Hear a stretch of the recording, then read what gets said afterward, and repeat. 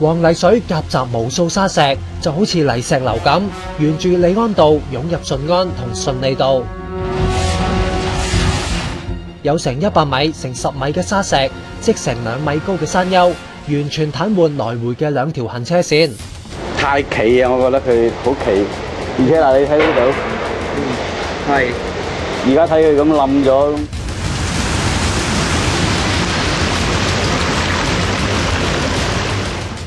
一時間，呢場豪雨連順安道對開山坡嘅护土牆都沖冧埋，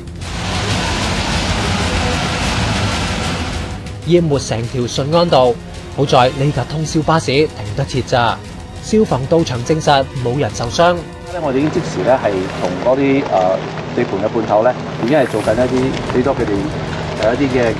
诶指示咧，係即時係做清理呢個泥石嘅動作，同埋咧係會喺一啲嘅崩塌嘅坡面上面咧係做噴漿，希望啊可以係誒開開翻呢一個誒利安道。至於順安道嘅山頂位置係安達臣道公屋嘅平整地盤，